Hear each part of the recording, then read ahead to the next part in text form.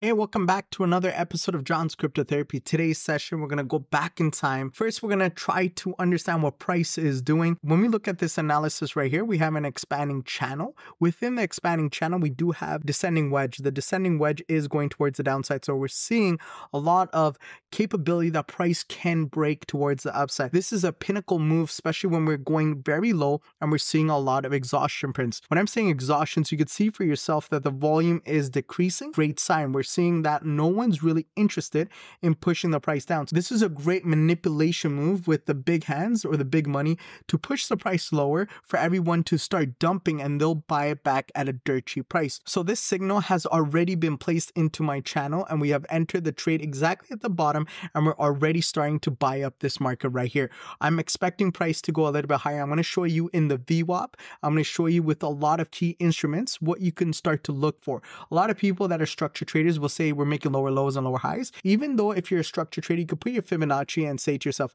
well, if I am still looking to release the price and make it go back lower, a lot of people that want to sell the price will look for the 50 and the 61.8. And we're so far away from that, guys. So that means we have a great analysis or a great move to bounce towards the upside and start seeing some projections towards that range. I'm not expecting price to go that far up. I'm going to show you where I'm expecting to take my full take profits. And this is an insight on how to be a professional trader or trade this way. And I want you guys to learn and put this into your charts as well. So let's get right into this. Once I have all this diagram down, I'm going to put in my volume profile. Why am I putting volume? Because volume is kind of the most important thing in trading. I shouldn't say kind of, it is the most important thing.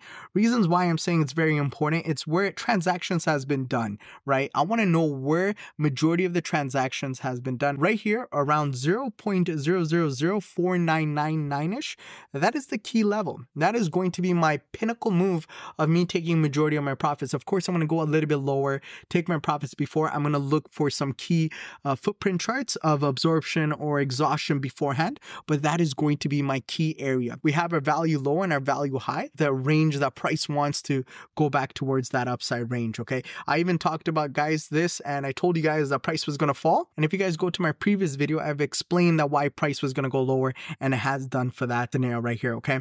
So once again, we're seeing low volume and I'm going to explain to you guys why I want to buy up this market right here. This is going to be my structure.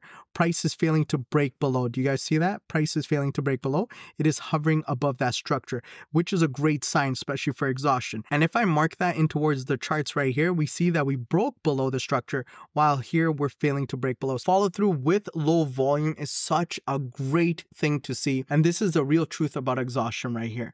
We have low volume. We're at the very bottom. Of course, this is showing us with all the information that I've talked to you guys about the expanding channel, the little wedge, the low volume, and how we're trying to go towards the POC. So the POC I've already mentioned it is going to be a strong move. I don't know how long this move is going to play out, but once this plays out, I'm looking to exit a lot of my positions, maybe look for a retest and then come back down. Once I'm putting my VWAP, this is the quarterly. So you can see for yourself as well, guys, it is towards the upside right around a key level that I'm looking to take price and price will hover towards this range. I've already entered this trade and I've explained to you guys in the long term in price projections that this alone right here is already a 14%, like a 15% move. Why are these moves really important? A lot of people that are folding on OMI, it's great because when you fold, there's people like me that is just buying the dips every single time. OMI is a great token. I do believe that it has such a great protocol to reaching new levels. And the key is not to worry about the OMI you have. It's about how to get more OMI or obtain more OMI at these low prices. That's the key. For those that don't believe in this project, I am very happy because you know why?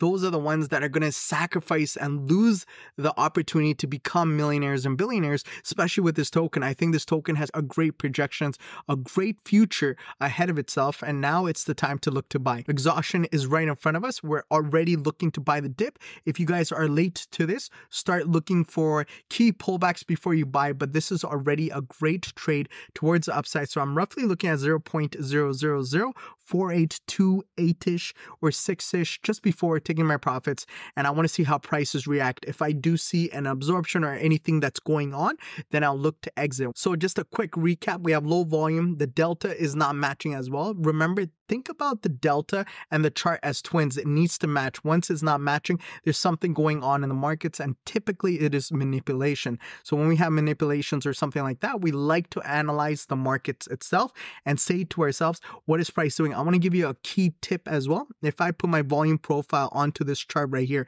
and I'm looking at the very bottom, take a look at that, guys. At the very bottom of this structure, I'm not even seeing any volume. Take a look at that. On the bottom of this wick, I'm not seeing no volume. So that means there's no follow through.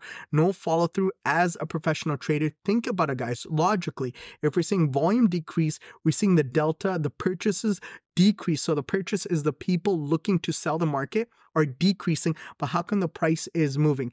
Key manipulation. We have low volume at the bottom, so price just wanted to go down, take out some stop losses, key projection towards upside.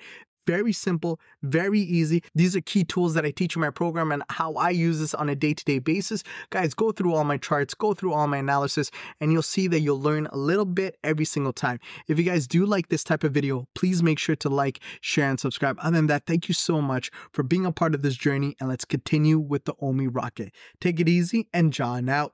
Peace.